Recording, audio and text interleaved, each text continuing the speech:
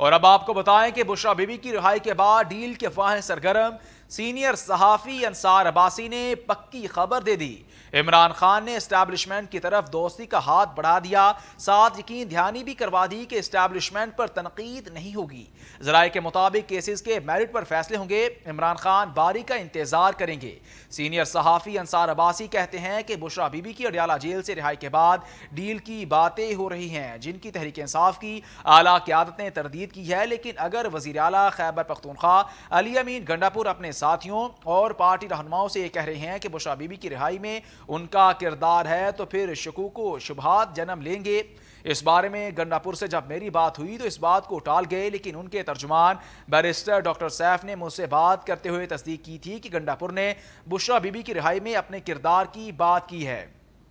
अभी ये पता नहीं चल रहा कि गंडापुर या इमरान खान ने बशरा बीबी को जेल से रिहाई दिलवाने के लिए इस्टेब्लिशमेंट को क्या यकीन दहानी करवाई है, कुछ पता नहीं चल रहा कि इस राही के पीछे क्या छुपा है, लेकिन तहरीक इंसाफ की सियासत का अंदाज और आने वाले दिनों में इमरान खान के बयान कुछ ना कुछ ज़ाहिर कर देंगे। अंसार अब्बासी कहते हैं कि आने वाले दिनों में पता चल जाएगा कि ऐसा क्या हुआ, और अगर ऐसा हुआ था तो फिर इसका मतलब है कि तहरीक इंसाफ ने अपनी पॉलिसी में बुनियादी तब्दीली कर दी है, जिसका मकसद फौज से बरह रास्त लड़ाई से जितनाब करना है। इस्टेब्लिशमेंट के हवाले से बात भी हो सकती है और तनकीद भी, लेकिन गुजशत दो ढाई साल की तरह फौज और आर्मी चीफ को बरह रास्त निशाना बनाया गया तो इसका मतलब होगा कि कोई डील नहीं हुई है। आपको हम खबर से कहा करें, बुशरा बीबी की रिहाई के बाद डील की अफवाहें सरगर्म, सीनियर सहाफ़ी अंसार अब्बासी ने पक्की खबर दे दी। इमरान खान ने इस्टेब्लिशमेंट की तरफ़ दोस्ती का हाथ बढ़ा दिया। साथ यकीन ध्यानी भी करवा दी कि इस्टेब्लिशमेंट पर तनकीद नहीं होगी।